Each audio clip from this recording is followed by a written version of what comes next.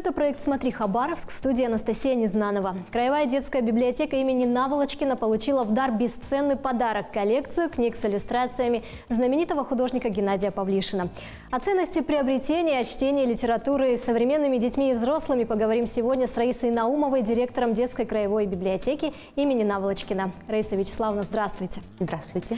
Сначала поговорим о новых экземплярах книг с иллюстрациями Павлишина, которые появились в детской библиотеке. Расскажите о них подробнее. Это что-то новенькое, свеженькое, это какие-то переиздания, ведь в библиотеке уже давно есть экземпляры Павлишина. Да, я хочу сказать, что у нас в Хабаровском крае есть наше достояние, есть наш художественный бренд, есть самый именитый, прославленный художник, и он наш хабаровский, Геннадий Дмитриевич Павлишин, народный художник Российской Федерации, почетный гражданин города Хабаровска. Это гений книжной иллюстрации. И свою популярность как книжный иллюстратор он обрел еще в середине прошлого века. У него очень большая, плодотворная творческая биография. Он для нас является, безусловно, мастером, для, наших, для библиотек и наших читателей он является знаковой личностью. И он действительно приобрел мировую известность. И большое событие для нашей библиотеки в этом году – стало его желание и подарок бесценный для наших юных читателей, для наших молодежи, подрастающего поколения, потому что я отношусь к тому поколению, которое выросло на книгах Павлишина, и для меня это самое ценное и дорогое, что может быть. И в этом году, буквально недавно, месяц назад, семья Павлишиных передала фонд нашей библиотеки в дар коллекцию своих э, книг, иллюстрированных мастером – 18 отдельных изданий. Это не полная его коллекция, потому что за свою долгую биографию, а мы сейчас говорим только об одном его большом мощном направлении, Павлишин – гений книжной иллюстрации. Хотя он, конечно, и мастер, гениальный живописец, и он занимается флорентийской мозаикой, и он один из лучших, входит в первую пятерку лучших художников-анималистов мира. А мы сейчас говорим о нем, только одна грань его а, колоссальной, конечно, э, деятельности – это Павлишин, книжный иллюстратор. И всего проиллюстрировано и создано около ста книг Геннадием Дмитриевичем Павлишиным. А свою коллекцию, своей личной библиотеки он передал в количестве 18 книг. Я не могу сказать, что это последние или новые его книги. Я хочу сделать только акцент – что часть книг из этой коллекции уже является книжным раритетом, они являются библиографической редкостью, которую уже невозможно приобрести. Возможно, они есть только в библиотеках Хабаровского края. Книжные памятники. Да. Ну, книжный памятник – это громко сказано, я называю это редкие и ценные издания. А, вот посмотрите, одно из первых изданий, вообще первая книга, которую а, в 1965 году издал Геннадий Дмитриевич. Она вот в центре у нас на экспозиции «Мерген и его друзья. Нанайская сказка». А, это уже, видите, переиздание, которое вышло в 21 веке. Она иначе исполнялась. И затем абсолютно с триумфальным мировым успехом он издает вторую книгу, всеми нами известную любимую Дмитрия Нагишкина «Амурские сказки». Вы видите уже исполнение. Эта книга переиздавалась более пяти раз. Эта книга издавалась а, два раза в Нью-Йорке, Испания, Италия, Япония. А, книга, которая приобрела такой огромный масштаб, и необходимо отметить, это очень важно, и Геннадий Дмитриевич очень гордится этой наградой. За эту книгу Геннадий Дмитриевич был удостоен главной награды на международной а на Международном фестивале детской книги в Братиславе награда «Золотое яблоко». Затем в 1979 году за эту книгу он получил международную премию на книжной выставке в Лейпциге. Он получил государственную премию имени Крупской. То есть уже в конце прошлого века эта книга стала такой оскароносной. Она уже стала Золотой. Собрала все трофеи. Да, все. Золотые трофеи международных книжных выставок. Она действительно является потрясающей. А, сам а, «Амурские сказки» Нагишкина и иллюстрации Павлишина. Эта книга стала, конечно, триумфом.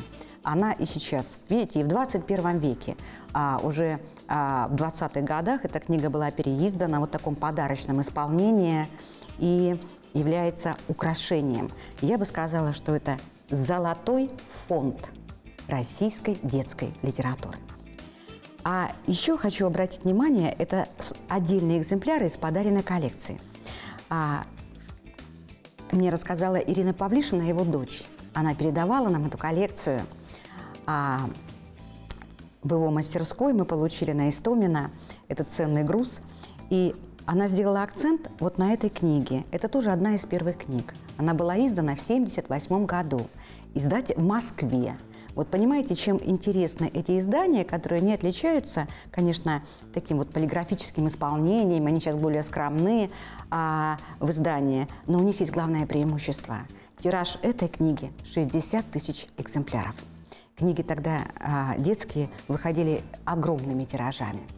А, и Ирина Павлишина рассказала мне, что эта книга произвела фурор, а, даже в мировом э, детском книгоиздании. И потом уже Геннадий Дмитриевич узнает, что эта книга вышла в 16 зарубежных странах. Поэтому 16. на английском языке. Да, да, в 16 зарубежных странах. Книга была очень популярна, она произвела большой фурор. И, как сказала Ирина Павлишина, Геннадий Дмитриевич не получил гонорара ни за одно издание книги, но он очень счастлив, потому что такая грандиозная география, и сразу пришла такая большая популярность замечательному книжному иллюстратору.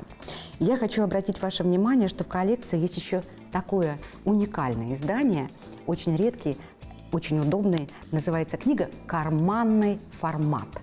И это книга нашего изумительного поэта Петра Комарова, нашего классика дальневосточной поэзии – и называется поэма «Серебряный кубок».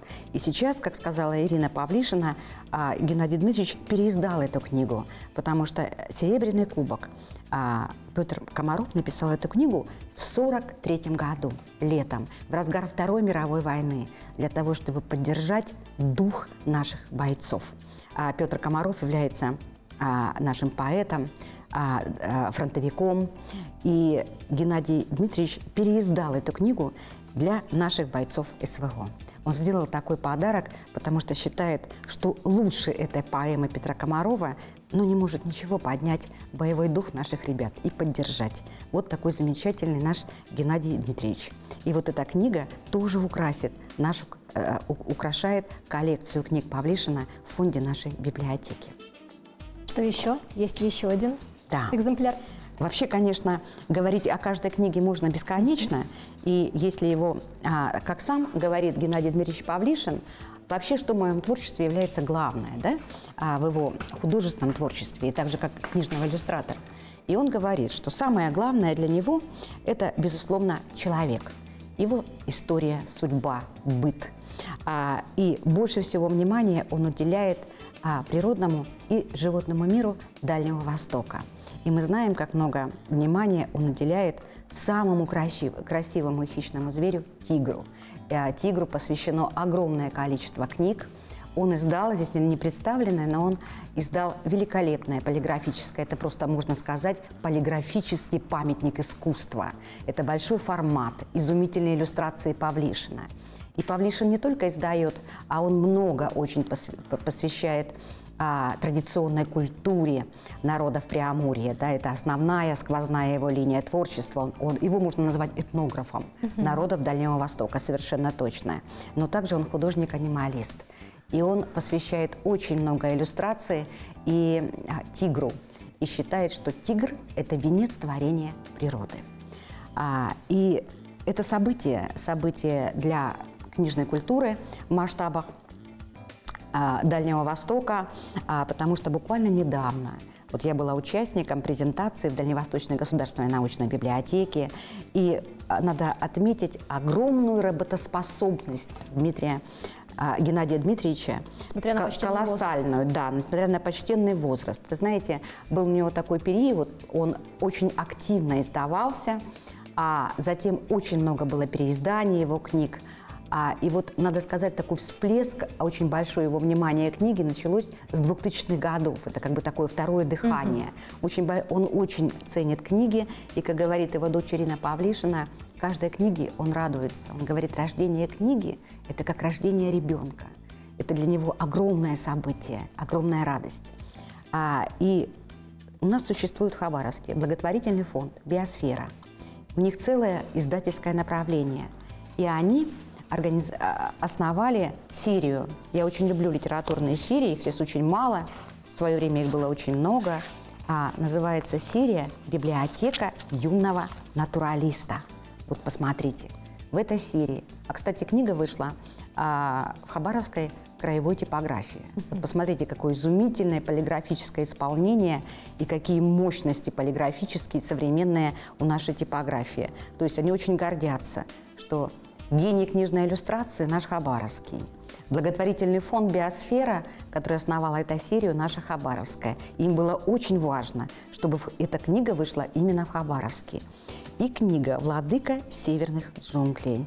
Здесь есть комментарии известных биологов-охотоведов, книга научно-популярная, а иллюстрации нашего замечательного мастера. Иллюстрации замечательные. Это новая последняя книга, которая пополнила коллекцию Геннадия Дмитриевича Павлишина. Вообще, если говорить в целом, а, то книг около ста, и Получив эту коллекцию книг замечательных, каждая книга – это шедевр полиграфического искусства, а, и это а, большое событие. Это стало, знаете, вот рождением для нас нового проекта. Мы так вдохновились. А, каждая книга, подаренная а, нам, снабжена автографом, да, напутствием юным читателям нашей библиотеки от семьи Павлишиных каждая книга. Книга, которая с автографом, ее ценность бесценна. В разы вырастает, да, конечно. в разы вырастает. А, поэтому мы решили, что эта коллекция, подаренная мастером, она станет основой, таким центральным а, блоком для нашей постоянно действующей большой экспозиции. Сейчас мы разрабатываем концепцию, брендируем, а, смотрим за разделами. И мы в 2025 году, в начале следующего года, откроем большую книжную экспозицию «Гении книжной иллюстрации». И, конечно, отдельный большой раздел будет посвящен нашему любимому мастеру. И все, все подаренные книги, они украсят эту коллекцию. Раиса Вячеславовна, вы говорите с детства, вы вместе с книгами Павлишина выросли. Вот расскажите, как это было? Приносили родители домой, вы сами бегали в библиотеку доставали, брали у друзей. Вот как это было в вашем детстве? Я вам сейчас расскажу. А, я а, выросла в семье читающей. А читающая семья – это, безусловно, все друзья и постоянные читатели библиотек. Поэтому, конечно, все, что было самого интересного, самого яркого, а любая книга Павлишина не могла быть незамеченной, она была событием и моей семье. Мы очень много, в свое время, в мое время, книги очень часто, мы покупали книги, мы формировали колоссальные библиотеки. А это считалось очень престижным, и библиотекам уделялась вот именно семейным библиотекам. Это было такой вот прям традиции, традиции семейная библиотека. А, и книги Павлишина были в моей семейной библиотеке. Потом нужно отметить, что я по профессии библиограф-краевед с очень большим стажем. И я очень хорошо знаю и люблю краеведческую книгу. Вы знаете, я много лет проработала в Дальневосточной государственной научной библиотеке в отделе краеведческой литературы. И если сейчас вы откроете книги Павлишина и просто скажете, вот, покажите нам в фонде, вы увидите эти книги. Они с материальным износом, они с заклеенными страницами. С другой стороны, вы знаете, какое счастье, я думаю, испытал бы Геннадий Дмитриевич, видя это, потому что мы Значит, понимаем читали. высочайший спрос – высочайший спрос. Книги без конца ремонтируют, их реставрируют, их снова ставят на полку для читателя. И то, что а, как-то, знаете, Геннадий Дмитриевич стал так активно переиздавать свои книги, и он очень плотно работает с очень известным престижным издательством «Санкт-Петербург». Речь – это очень крупное издательство. И все свои книги, основные, основ, а, а, основной блок а, современного переиздания своих книг он именно издал в этом издательстве. Он, конечно, издавался и в Сеуле, Южная Корея, и Хабаровская краевая типография, вот, пожалуйста, да. Но основные, основные книги вот он делал в Санкт-Петербурге. И это такая для нас радость, что он переиздал эти книги, потому что он с радостью дарит свои книги библиотекам. А, и фонды наши обновляются, и наше подрастающее юное поколение видит уже эти книги в современном полиграфическом исполнении, в более хорошем полиграфическом качестве, с изумительными иллюстрациями. Это очень важно, потому что детская книга, вы знаете, он еще в конце прошлого века получил прекрасную награду, и было написано «За выдающийся вклад в развитие советской детской литературы». Его вклад невозможно переоценить. Он великий. А Геннадий Дмитриевич Павлишин потрясающий труженик, удивительно скромный. Он не публичный человек, он мало дает интервью, вы это знаете, вы его не видите. А очень а, такой собранный, дисциплинированный, требовательный а, и невероятно работоспособный. Потому что, как он говорит, я жадный до работы. Вот это его девиз. И всегда, когда он обращается к подрастающему поколению, в редких своих интервью, он всегда говорит а, очень правильные слова. Все, что я желаю а, молодежи, нашему поколению молодому, это любить свою родину и трудиться, не покладая рук своих во благо Отечества. Ну вот, к слову, о молодом поколении. Сейчас в библиотеку приходят дети, вот читают Павлишина по запросу от школы, потому что сейчас у нас предмет дальневосточная литература более масштабно разворачивается, уже не как факультатив. А, приходят, потому что родители приводят. Вот э, что вы могли наблюдать, э, как сейчас читают Павлишина? Книги с его иллюстрациями, нашу дальневосточную литературу. Понятно, что, наверное, те объемы, запоенные, как в Советском Союзе, понятное дело, они уже не те. Но, тем не менее, ценность книг, она не теряется.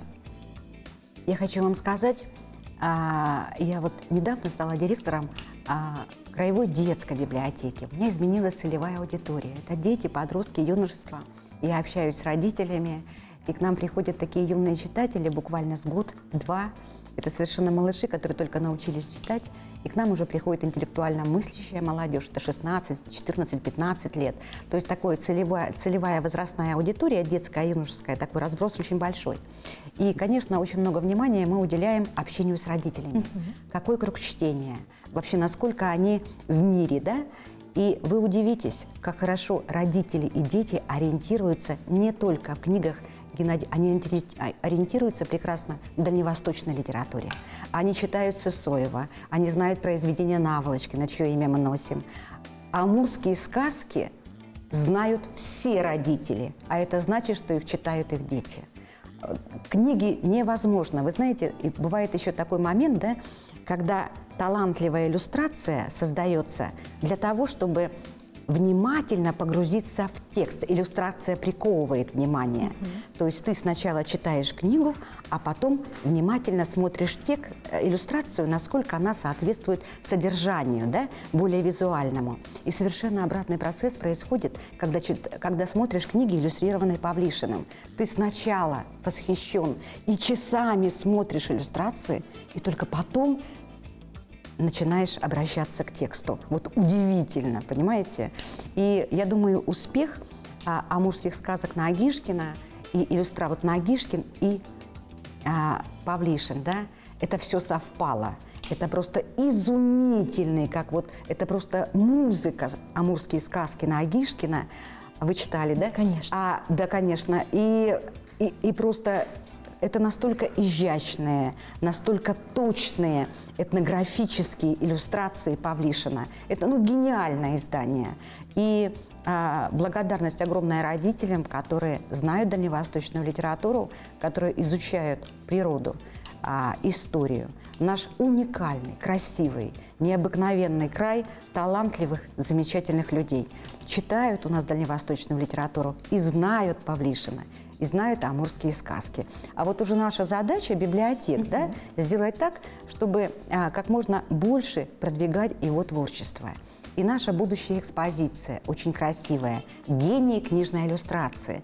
Конечно, центральное место займет экспозиция Геннадия Дмитриевича Павлишина и его потрясающих роскошных изданий.